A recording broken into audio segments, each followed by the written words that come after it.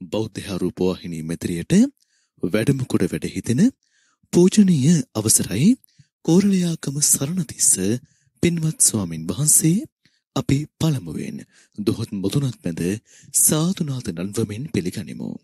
අවසරයි අපේ හාමුදුරුවනේ. සාදු සාදු සාදු. නමෝතස්ස භගවතු අරහතු සබ්බ දම්මිසු අපපටිහතඥානචාරස්ස දස බලධරස්ස චතුවේ සාරජ්‍ය විසාරදස්ස සබ්බ සත්තුතුතමස්ස දම්මිස්සරස්ස දම්මරාජස්ස දම්මස්සාමිස්ස තථාගතස්ස සබ්බඥුනු සම්මා සම්බුද්දස්ස නමෝතස්ස භගවතු අරහතු සබ්බ දම්මිසු අපපටිහතඥානචාරස්ස දස බලධරස්ස චතුවේ සාරජ්‍ය විස්හාරදස්ස සබ්බ සත්තුතුතමස්ස දම්මිස්සරස්ස දම්මරාජස්ස දම්මස්සාමිස්ස තථාගතස්ස සබ්බඥුනු සම්මා සම්බුද්දස්ස නමෝතස්ස භගවතු අරහතු සබ්බ දම්මිසු අපපටිහතඥානචාරස්ස දස බලධරස්ස චතුවේ සාරජ්‍ය විසාරදස්ස සබ්බ සත්තුත්තමස්ස දම්මිස්සරස්ස දම්මරාජස්ස දම්මස්සාමිස්ස තථාගතස්ස සබ්බඥුනෝ සම්මා සම්බුද්දස්ස.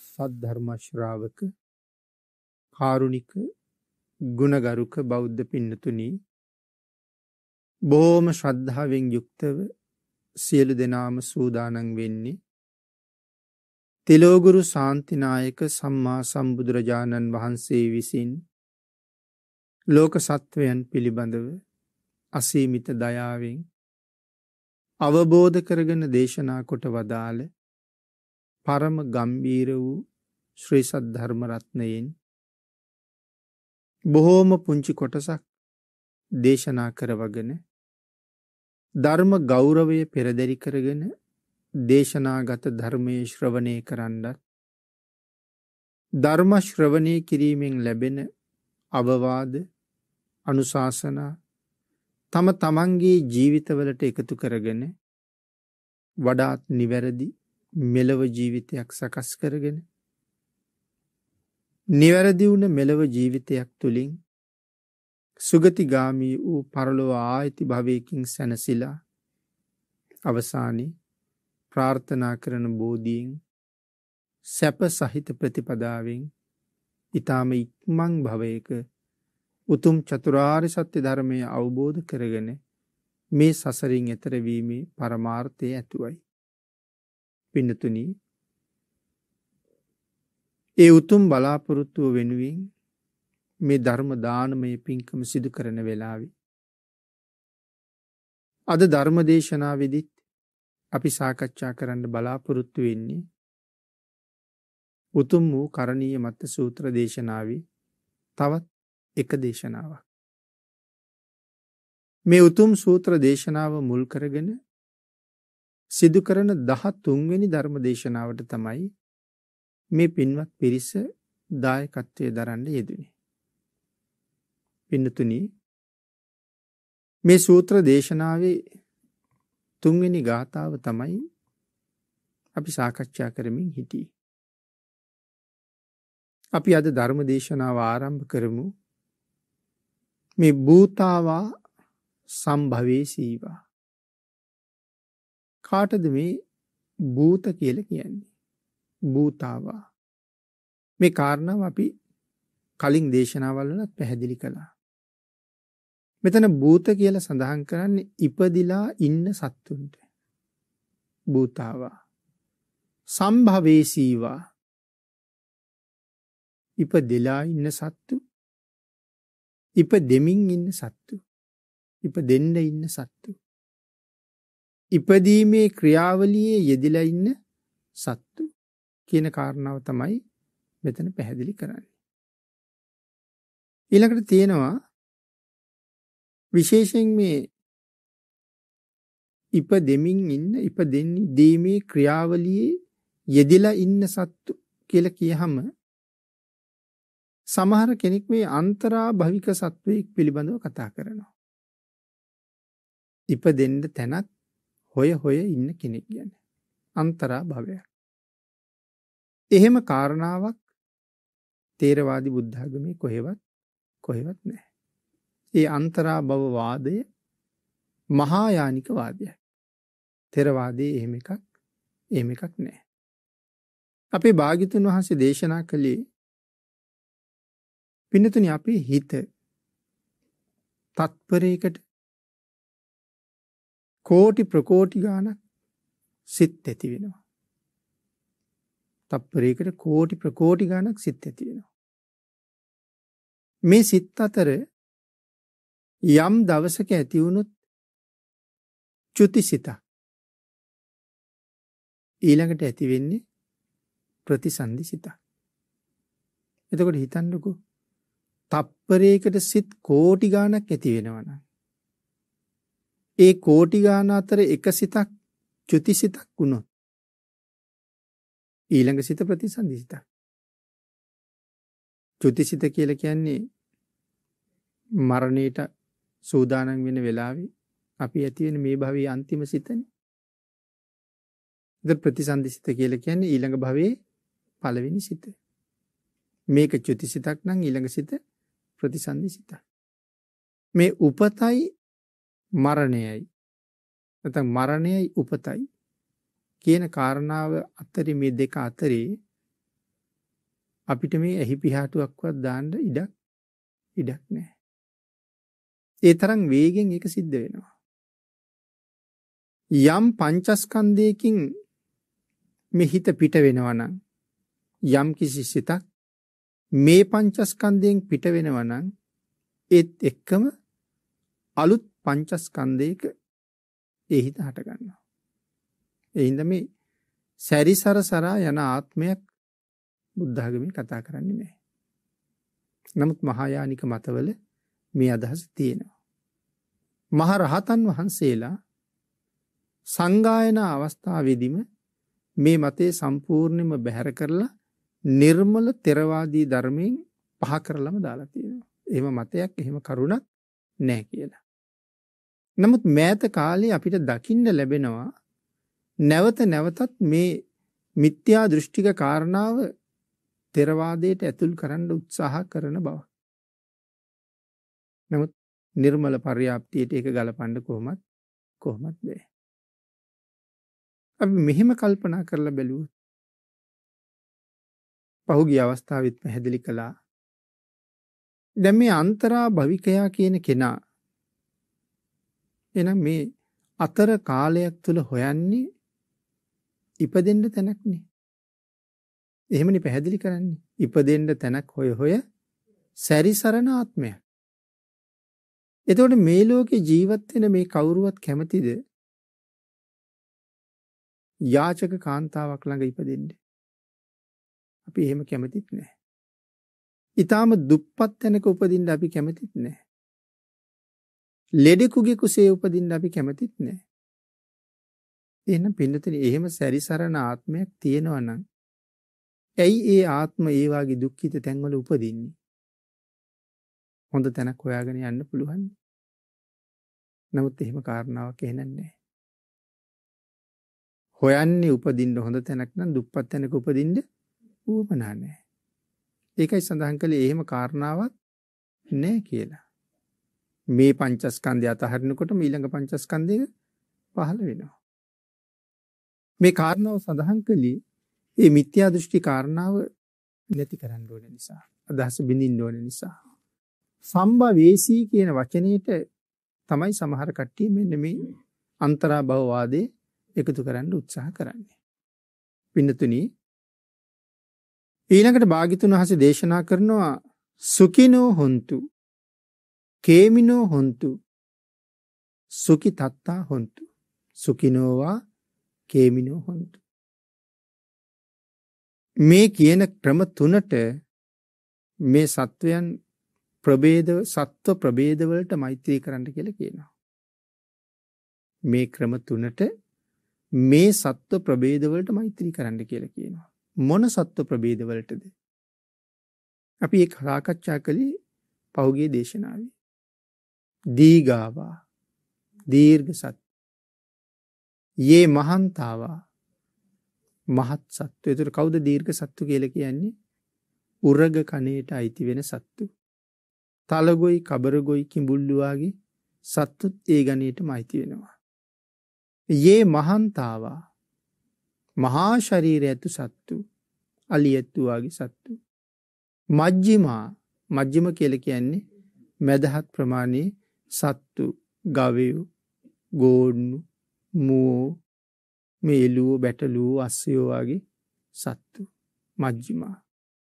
මජ්ජිම අරස්ස කානුකතුූලා අනුක කානුක කාටද මේ අනුක කියල කියන්න එතකොට. සාමාන්‍යයෙන් පියවි ඇහැට පේන්නේ නැති ඉතාම කුඩා සත්. ඒක සෛලික ජීවීන් වගේ ජලයේ ජීවත්වෙන සත්තු ඉන්නවා. ඉතා කුඩා සත් අනුක කියල කියනවා. ඊළඟට සඳහන් කරනවා වටකුරු ස්වභාව ඇති සත්තු.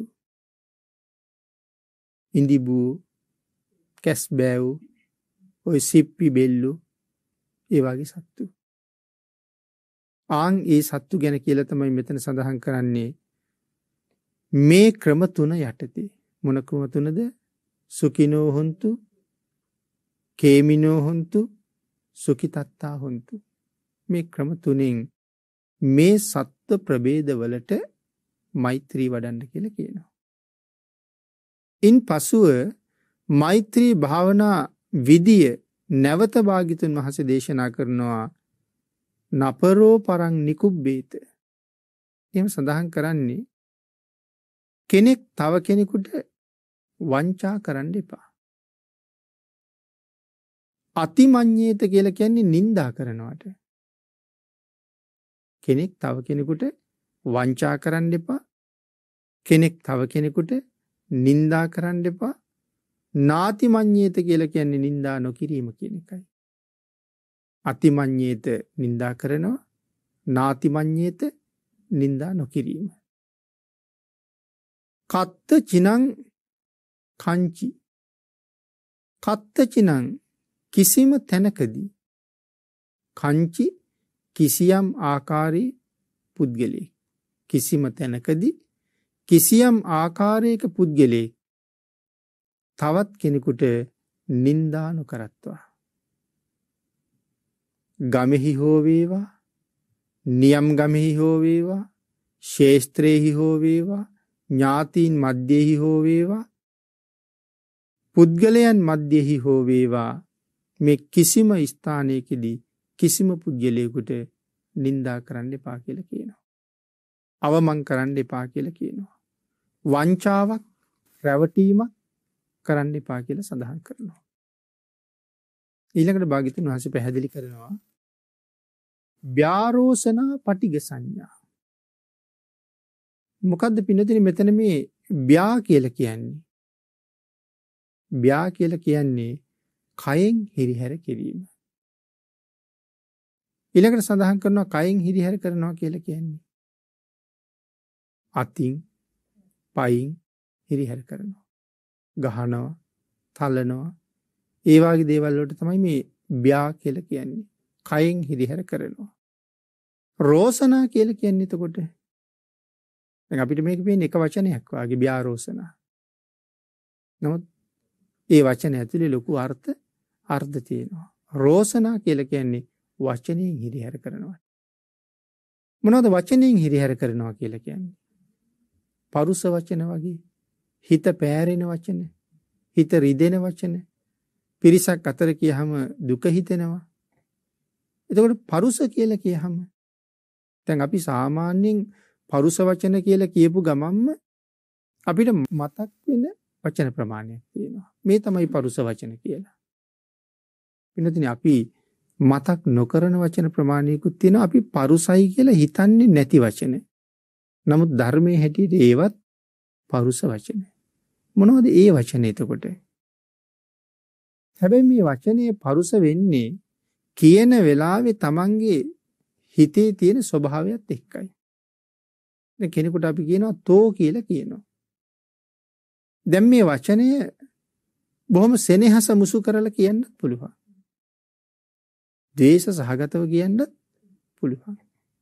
සමහරලාට අපේ වැඩිහිටියෝ දරුවන්ගෙන් අහනවා ළමයින්නේ තොපි කාලද ඉන්න කියලා. එක බොහොම සෙනහසෙන් අහන කතාව. එහෙම තොපි කීව කියලා ඒක පරුස වෙන්නේ පරුස වෙන්නේ නෑ. නමුත් හිතේ දේශය සහිතව තාතෝ කියලා කතා කරන අවස්ථා තියෙනවා. අං එහෙම වුණු ඒ වචනය පරුස වෙන්ඩ පරුස වෙනවා. එතොට මෙතන රෝසනා කියල කියන්නේ වචනයෙන් කරන හිරිහැරේ තමයි පරුස වචනය. අපි උදාහරණය කෙටියට තමයි තෝ කියන වචනය අරගත්ති. තව ඒවාගේ වචන ගොඩක් තියෙනවා. පටිග සංඥා කියල කියන්නේ අරමුණෙහි අකමැති සංඥාව. මොකද මේ අරමුණෙහි අකමැති සංඥාව? දැන් සමහර දෙයක් දැක්කහම අපිට තරහයනවා සමහර වැඩක් දැක්කහම අපිට තරහයනවා එතකොට ඒ ගත්ත අරමුණට අපි අකමැති ඒකයි මෙතන කියන්නේ අරමුණෙහි අකමැති සංඥාව දර මේකට මේ පටිග කියල කියන්නේ දේශ සහගතයි කියන එක. පටි ගාත සමහට භාගිතන් වහසේ දේශනා කරපු සූත්‍රම තියෙනවා. දේශය පිළිබඳව පැහැදිලි කරන්න. ආඝාත පටිවිනය සූත්‍රය ආඝාත පටිවිනය දේශය පිළිබඳව කරුණු පැහැදිලි කරන සූත්‍රය. දේශය ඇතිකරගණ්ඩ එපා කියලා කරුණු පැහැදිලි කරපු කකචූපමවාගේ සූත්‍ර කියතක් උපමාවට අරගෙන කරපු දේශනාවල්. එන ඒ දේශය ගැන් තමයි සඳහන් කරන්නේ අරමුණෙහි අකමැති සංඥාව. එහෙම නැත්තං පහරදීම අප්‍රිය වචනකීම සහ දේශ කිරීම කියන කාරණා තුන නාං්‍ය මං්්‍ය කියල කියන්නේ කෙනෙක් තව කෙනෙකුට කියන අදහස. නාං්‍ය මං්්‍ය කෙනෙක් තව කෙනෙකුට. දුක්කමිච්චේය දුකක් කැමති වෙනවද. එනම් කෙනෙක් තව කෙනෙකුට දුකක් කැමති නොවේවා. කිසිම ආකාරයකින් අන්‍යන්ට දුකක් වෙනවට කරදරයක් වෙනවට විපතක් වෙනවට අපේ හිතේ සතුටක් ඇති නොකර ගණ්ඩුවනේ. එකයි මෙතන සඳහන් කරන්න. පිඩතුන නැවතත් මෙනෙහි කරන ආකාර භාගිතුන් වහස ප්‍රබේද ගත කරනවා. කෙනෙක් තව කෙනෙකු නොරැවටීම කෙනෙක් කොතනකදී හෝ තව කෙනෙකු නින්දහවට භාජනය නොකිරීම අතින් පයින් හෝ පහරදීම හෝ සිතින් හෝ දේශය පැතිරවීම කෙනෙක් තව කෙනෙකුගේ දුක කැමතිවීම කියන කාරණයන්ට විරුද්ධව තමයි මෙන්න මේ මෛත්‍රී භාවනාව කියන කාරණාව තියෙන්. මෛත්‍රී භාවනාව මේ හැම එකකටම විරුද්ධයි. එතොට මේ මෛත්‍රී භාවනාව භාගිතුන් වහස අපිට ප්‍රගුණ කරන්න කියල කීවේ මේ සසරින් එතරවීම උදෙසා. ඒකට හොඳ මාර්ගයක්. දේශය සහිතනං මෛත්‍රිය ප්‍රතිවිරුද්ධ කාරණාව නිදේශය කියල කියන්නේ මෛත්‍රයට විරුද්ධ කාරණාව දේශය. දේශ සහගතව සසරින් එතර වෙන එක ලීසි නෑ. ඒ කරන්න බැරි වැඩ. ඒ නිසා මෛත්‍රියක් වඩන්න ඕනේ. ඒ මෛත්‍රිය හැම වෙලාවෙම ද්වේෂයේ පිටු දකින කාරණාවක් වෙන්න ඕනේ. මෛත්‍රී කියලා කියන්නේ ඒකනේ. ද්වේෂයේ පිටු දකිනවා. සාමාන්‍ය එදිනෙදා ජීවිතෙත් අපිට දේශසිත් ඇති වෙනවා. ආන්ගේ ද්වේෂය පාලනය කරන්න කියලා කියනවා. එහෙම නැති වුණොත් දේශ සහිතව මැරුණොත් අපි නිතරම කතා කරපු කාරණාවක්. ඉතා අවාසනාවන්ත උපතක් නිතියෙන්නේ. දේශ සහිත මරණයේ තියෙන්නේ අවාසනාවන්ත උපතක්. එක්කු නිරයක උපදිනවා. ජීවිතයේ බොහෝ කුසල් කරපු කෙනෙක් වෙන්න පුළුවන්.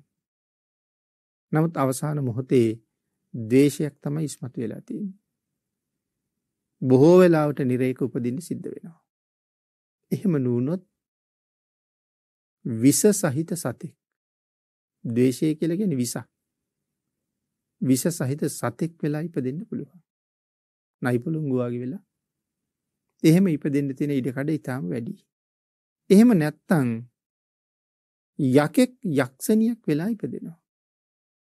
ඉතින් එහෙම කරුණුනම් ධර්මයේ බොහෝ තැන්වල තියෙනවා. එක අපි අහනවා කාලියක්ෂණීගේ කතාව. දවේශය නිසා. මේ වගේ කාරණා ගොඩක් පැහැදිලි කරලා තියෙනවා. අපේ ශාසනයේ එක මහරහතන් වහන්සේ නමකුත් එක අනාගාමින් වහන්සේ නමකුත් සෝවාන් නාරයන් වහන්සේ නමකුත් එක පෘතජ්ජන පුද්ගලයකුත් එල දෙන ඇනල මරලදානවා. එකම විදියට. ඒත් එල දෙනකගේ වෙස් අරගෙන එන්නේ යක්ෂණයක්.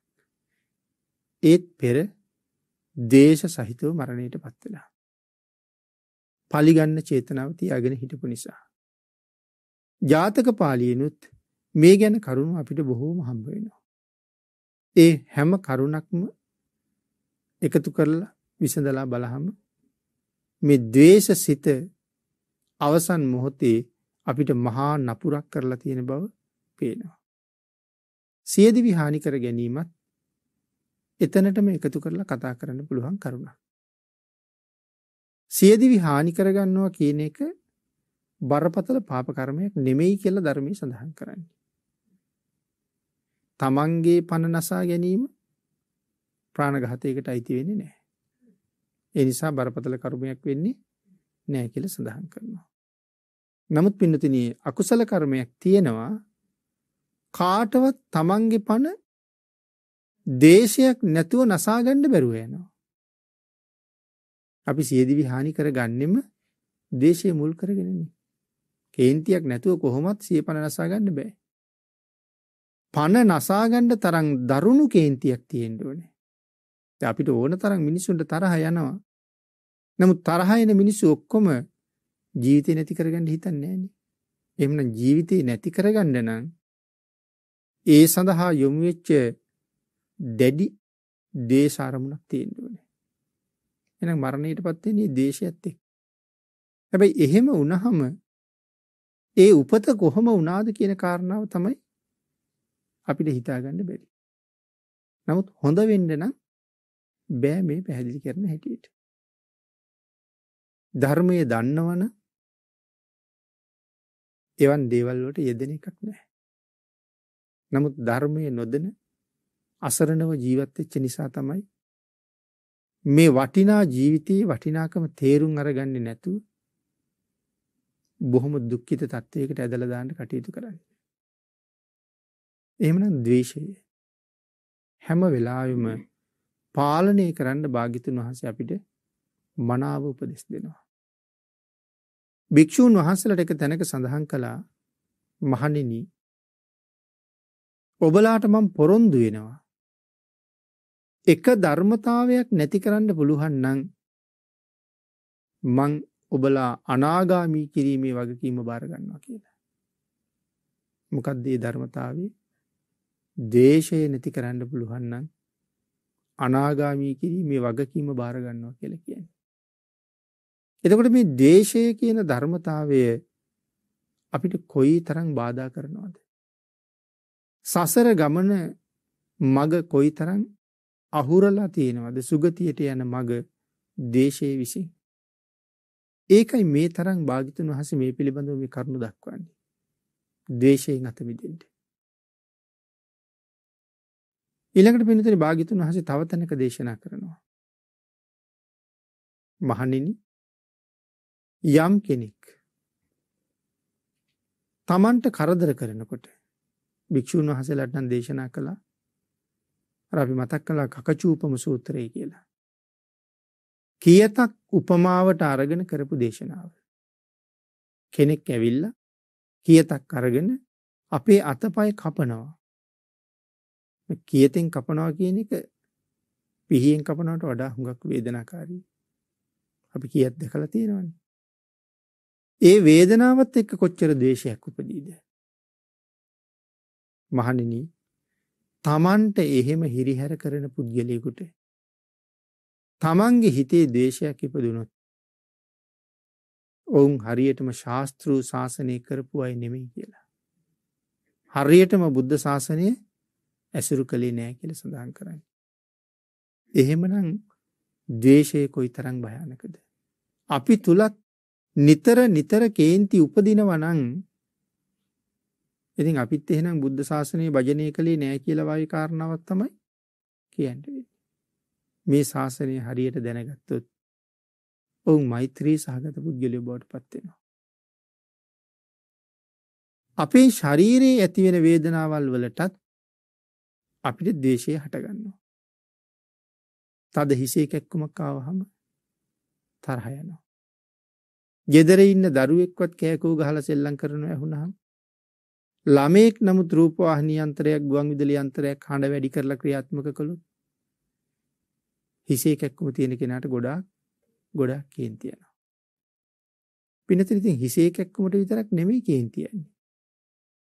බඩේ කැක්කුම හැදුනත් කේන්තියනවා. කනේ කැක්කුම හැදුනත් කේන්තියනවා. දතේ කැක්කුම හැදුනත් කේන්තියනවා. මේ කායික වේදනාවල් වලින් අපිට දේශය උපදිනව නං සඳහන් කරනවා. මැරෙන වෙලාවේ මරණ වේදනාව කොහොම යොසයිද කියලා. මැරණ වෙලාවෙත් හුඟක් වේදනාකාරී අවස්ථාවක් කියලනි සඳහන් කරන්න. හැබැයි හිසේ කැක්කුමනං අපිට පුරුදුයි නිතර නිතර හැදෙන නිසා. දතේ කැක්කුමත් පුරුදුයි නිතර නිතර හැදෙන නිසා. ජීවිතයේ එක වතාවක් දෙවතාවක් හරි දත් කැක්කුම ගැන අත්දැකීමක් තියෙනවා. නමුත් අපිට මරණ වේදනාව ගැන මීට කලින් අත්දකින් හම්බෙල නෑ. ඒක ඒ කාලෙට එදාට හම්බ වෙන අලුත්ම වේදනාවක්. අවදාවත් අත්දැකීම් නැති දෙයක්. ඉතා දරුණු වේදනාවක් කියල තමයි පැහැදිලි කරන්න. කවදාවත් විඳල නැති ඒ ආගන්තුක වේදනාව වෙලාවේ දේශය උපදින එක නවතීද. එහෙනම් දේශ සහගතව ඒ වෙලාවේ මරණයට පත්වනොත්. එක යහපත් වීද. ආං ඒක නිසා මෛත්‍රයක් ප්‍රගුණ කරන එක පින්නතින හරි වටිනවා. හැම කාරණාවකටම වටිනවා. එදිනෙදා ජීවිතයටත් හොඳටම වටිනවා. ඒ විතරක් නෙමෙයි මරණාසන්න කාලිත් හොඳටම වටිනවා. අපි කොච්චර පින් කරලා තිබුණත් ඒ වෙලා විදවේශයේ පාලනය කරන්න බැරි වුණොත් අභාග්‍ය සම්පන්න උපතක් තියෙන්න්න පුළුවන්. ආන්ගේ ඇතිවෙන කායික වේදනාව පහ කරන්න පුරුදු කරලා තියෙන්ඩුවන. මේ වේදනාවෙන් මාසුවපත්වේවා. ඒ කායික වේදනාව අයින් කරලා තමන් කරගත්ත කුසල ධර්මයන් ආවර්ජනය කරන්න පුළුවන් හැකියාවක් තියෙන්ඩුවන. පැරැන්නු ගාව තිබුණා පිම් පොත කියවනවා කියල ක්‍රමයක්. නමුත් මේ තියෙන දැඩි වේදනාව අතරේ කියවන පිම්පොතට සවන් දෙන තරං අවස්ථාවක් එන්නේ නැතිවී. නමුත් ඒ වේදනාව යටපත් කරන්න පුරුදු කරලා තිබුණන කරපු කුසල ධර්මයෙන් ආවර්ජනය කරන්න තිබුණා. එහෙමනම් මෛත්‍රී භාවනාවෙන් වේදනාව යටපත් කිරීම කියන කාරණාව මනාව ප්‍රගුණ කෙරෙනවා. එදාට මරණ වේදනාව ඇති වුනත් අපි දන්නවා වේදනාව අයින් කරන්නේ කොහොමද කියලා. මේ මෛත්‍රී භාවනාවෙන් ඒක කරන්න පුළුවන් වේදනාව අයින් කරන්න. ඒ තරම්ම බලවතුයි මේ භාවනා ක්‍රමය. දේශනාවේ සඳහන් කරන්න පින්නතනේ අපිට ඇතිවෙන පිළිකාවක් වාගේ භයානක රෝගයක් නමුත් ඉවත් කර ගන්න එක මෛත්‍රී භාවනාවේ ඉතාම ප්‍රාථමික ගුණයක් කියලා. උසස් ගුණයක් නෙමෙයි පිළිකාවක් අයින් කරනවා කියන එක ප්‍රාථමික ප්‍රාථමික ස්වභාවය. එතකොට අපි හැමෝම බීතියට පත් කරලා තියෙන ඒවාගේ රෝගයක් අයින් කරන එක මෛත්‍රී භාවනාවේ ප්‍රාථමික ක්‍රමයක් නම් මේ මෛත්‍රී භාවනාවේ උසස් ක්‍රම අපිට කොයි තරං සුවයක් හදයිද. එලවයි මෙලවයි දෙකම සුවපත් කරනවා. ඒකයි මේක ප්‍රගුණ කරන්න භාගිතුන් වහස දේශනා කරන්න. හැබැයි මේක ප්‍රගුණ කරන්න ප්‍රායෝගිකව ජීවිතය මේක යොදාගෙන තියෙන්න ඕනේ. ප්‍රායෝගිකව යොදා ගන්නවා කියලා කියන්නේ. එක පාරම ওই කාරණාවටම යන්න ගියාට අපිට ඒක තරම් සාර්ථක වෙන එකක් නෑ. ඒකයි ප්‍රායෝගික වෙන්න කියලා කිව්වේ. උදාහරණයක් දෙකක් මතක් කළොත් ගෙදර තියෙන යම් උපකරණයක් අපි කිසියම් වැඩකට අරගන්නවා. අපි කියමු උදැල්ල ගත්ත කියලා. උදැල්ල අරගෙන මං කිසියම් වැඩක් කරනවා. මම වැඩේ කරලා උදැල්ල වෙන තැනක තියලා මම යනවා. එතකොට ගෙදර තව කෙනෙක් එනවා උදැල්ල හොයන්න. එන්නේ උදැල්ල කලින් තියලා තිබ්බ තැනට. එතන උදැල්ල නැති නිසා ඊළඟට හැම තැනම ඇවිද ඇවිද හොයන්න වෙනවා. අඬ ගහ ගහ අහන්න වෙනවා. ආන් එතකොට ඔහුගේ සිතේ දේශය උපදිනවා. නමුත් මගේ කාර්ය නිමා කරලා මං උදැල්ල එතනම තිබ්බන අර පුද්ගලයාගේ කාලිනාස්ති වෙන්නෙත් නෑ. ඒ පුද්ගලයාගේ හිතේ අකුසල් සිතක් උපදින්නෙත් නෑ. ගේ වටේම ඇවිදින්ඩ ඔහුට සිද්ධ වෙන්නෙත් සිද්ධ වෙන්නෙත් නෑ. මේ මෛත්‍රී ප්‍රායෝගික පැත් අපි නොහිතන්න දේවල්. මම අකමැතිනං ගෙදර යම් දෙයක් මේ විදිහට තියෙනවට. යම් විදිහකට තියෙනවන්න මං අකමැතින ඒකට අනික් අයත් අකමැති කියල හිතන්ට ඕනේ. ඒ නිසා ඒ තත්ත්වය කැමති ආකාරයෙන්ම තියල යන්න ඕනේ. සමහරලට කෑම කන මේසි පිරිසිදු කරලනෑ. තේ කෝපි හදාගත් හම එතන පිරිසිදු කරලනෑ. මේ මේවාගේ හැම කාරණාවක් තුළම මම නිසා තව කෙනෙකුට හිරිහැරයක් නොවෙන්ඩ එදිනෙදා ප්‍රායෝගිකව කටයුතු කරන්න උත්සාහ කරනවා නං එතන ඉදලතිනේ ප්‍රායෝගික මට්ටමේ මෛත්‍රිය. එවන් එවන් තත්ත්ව තුළ මනාව හික්මිලා නං අපිට භාවනාවක් හැටියට මේක වඩන්ඩ යනකොට ඒක ලොකු උපකාරයක් කරනවා ඒ භාවනාව වඩා ගැනීම සඳහා. එවන පිනතිනි සඳහන් කළා තවත් කෙනෙකුගේ දුකක් කැමති වෙන්ඩ දුකක් කැමති වෙන්ඩ එපා. තවත් කෙනෙකුට හිත් වේදනාවක් ඇති කරන්න එපා. කායික වසයෙන්ද වාචසික වසයෙන්ද මානසික වසයෙන්ද කාටවත් කරදරයක් කරන්න එපා කියලා. ඉන් පස්සෙ පින්නතන මේ මෛත්‍රයේ සීමාව සඳහන් කරනවා. මොකදද සීමාව කියලා. මාතා යතා නියං පුත්තා. මවක් යම් ආකාරයට තමන්ගේ එකම පුත්‍රයා. ආයුසා ඒක පුත්ත මනුරක්කේ. තමන්ගේ එකම පුතා තම ජීවිතය පවා පරදුවට තියල රකිනවද. ඒවම්පි සබ්බ භූතේසු. මෙන්න මේ ආකාරයට සියලු ඉපදුන සත්වයන් කෙරෙහි මාන සම්භාවයේ අපරිමානං අප්‍රමාණ ලෙස මෛත්‍රී මනස වැඩිය යුතුයි. සීමව පෙන්නලා තියෙනවා. අම්ම තමන්ට ඉන්න එකම දරුවා අම්මගේ ජීවිතයේ පරදුවට තියලා හරි රකිනවාද. අන්න ඒවාගේ මේ ලෝකෙ ඉපදිලා ඉන්න සත්තු පිළිබඳව තමන්ගේ හිතේ එහෙම ඇති කරගන්න කියලා. එතකොට මේ වචනයෙන් කතා කලාට මේ සීමාව ඉතාම ගැඹුරුයි. හැම කෙනෙක් පිළිබඳවම එහෙම මෛත්‍රී සිතක් තියෙන්ට ඕනේ. කෙනෙක් හරියටම මෛත්‍රී භාවනාව වඩනකොට අපි මෛත්‍රී ආනිසංස අහලා තියෙනවා. මෙලවදී ආනිසංස කීයක් ලැබෙනවාද. මෛත්‍රී භාවනාව ආනිසංස එකොළහක් තියෙනවා. එකින් දහයක්ම මේ ජීවිතයම විපාක දෙනවා. මැරුණට පස්සේ නෙමෙයි මේ ජීවිතයම තමයි කාරණා දහයක්ම පල සහිත වෙන්නේ. මරණයෙන් පස්සේ විපාක දෙන්නේ එකයි. ඒමකක්ද සිහි මුලාවක් නැතුව මරණයට පත් වනොත් බඹලොව උපද්දනවා කියල සඳහන් කරනවා. හැබැ සිහි මුලාවක් නැතුව මරණයට පත්වන බඹලු උපද්දවනු. එතකොට සිහි මුලා නොවී මරණයටත් මේ උතුම් කුසල කර්මය හේතුවෙන. එන මන් සඳහන් කළ ආනිසංස දහයක්ම දහයක්ම මේ ජීවිතයට ප්‍රායෝගිකව මේ ජීවිතයම අත්දකින්න පුළුවන් දේවල්. එතකොට අපි සඳහන් කරනවා මේ මෛත්‍රිය කියල කියන්නේ පුදුම ආරක්ෂාව. සංකිච්ච කියන රහතන් වහන්සේට හොරු කඩුවෙන් පහර දෙනකොට. එක සැරයක් කඩුව නැමුණා උන්වහසේ බොහෝම සතුටින් ඉන්නේ. මරණය පිළිබඳව කිසි බයක් නෑ. සිනහාමුසු මුහුණින්ම ඉන්නේ. දෙ වදකයටත් එක ලොකු ප්‍රශ්නයක්. මේ මොහොතකින් කඩුවෙන් කොටල්ලා ජීවිතය නැති කරන්න හදන්න. නමුත් ඒ බව දැන දැන කඩුව ඔසවන කොටත් මේ හාමුදුරුව හිනා වෙනවා.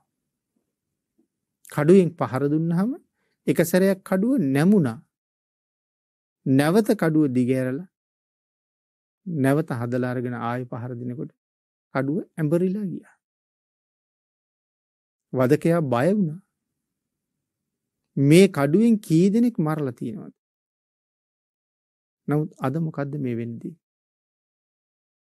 උන්වහන්සේගේ මූනේ ඇගේ හිතේ බය තියෙන පාටක්වත් පේන්නනෑ.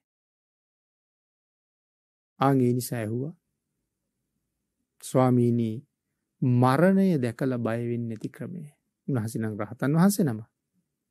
නමුත් ඒ මෛත්‍රී චිත්තය එත් තරම්ම ප්‍රබලයි. එනිසා අපිටත් මේ මෛත්‍රී හරියට සන්නායකයක් වගේ කියල කියන්නේ.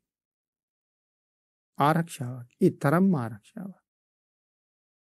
මෛත්‍රී වඩන පුද්ගලයට වෙඩි තිබ්බත් වදින්නෑ කියල කියන පින. ඒකයි සන්නායකයක් වගේ කියල කියන්නේ. හැබැයි මෛත්‍රිය හිතේ තියෙන වෙලාවට විතරයි. අපි වෙඩි නොවදින ඇඳුමක් ඇඳල ඉන්නවා කියම.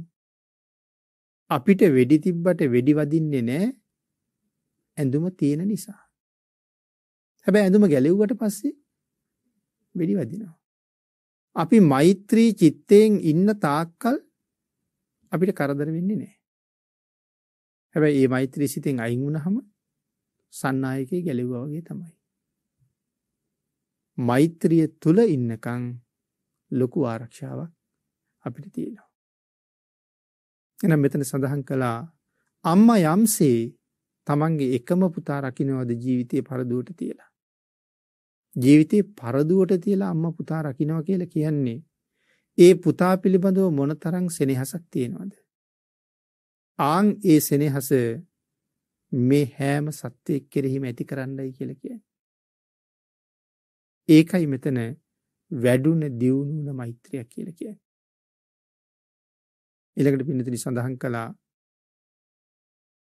මෙත්තංච සබ්බලෝ කස්මි මෙන්න මේ ආකාරයට සියලු ලෝක සත්‍යයන්ට මාන සම්භාවයේ අපරිමානං අප්‍රමාණ ලෙස මෛත්‍රී මනස වඩන්. කොයි ආකාරයටද අම්ම තමන්ගේ එකම පුතා යම්සේ ආරක්ෂා කරනවාද. අන්න ඒවාගේ මේ සියලු ලෝක සත්‍යයන්ට අප්‍රමාණ ලෙස මෛත්‍රී සිත වඩන්ට. උද්දං අදෝච තිරියංච මෙතන උද්දං කියල කියන්නේ උඩ දිසාව. අදෝ කියල කියන්නේ යට දිසාව. තිරියංච හාත් පස තමන්ගේ වටේ ඉන්න සියලුම පිරිස. අසම්බාදං අවේරං අසපත්තං. අසම්බාධන් කියල කියන්නේ කිසිම බාධාවක් නැතුවම. අවේරං කියන්නේ කිසිම වෛරයක් නැතුවම. අසපත්තං කියල කියන්නේ සතුරු නැතිවෙන ආකාරයට පිඳතින මෙතන සඳහන් කරන්නේ දිසා අනුව මෛත්‍රී වඩන හැටි. එනිසා සිව් දිසාවටම මෛත්‍රී චිත්තය එකසේ පතුරුවන්න කියලා. මේක එක පාර කරන්න පුළුවන් දෙයක් නෙමි. කාලයක් තිස්සේ පුරුදු කරලා පුරුදු කරලා දියුණු කරගන්න ඕන දෙයක්. නමුත් යමෙකුට පුළුහන්නන් ඒ සිව් දිසාවටම එකසේ මෛත්‍රී වඩන්න.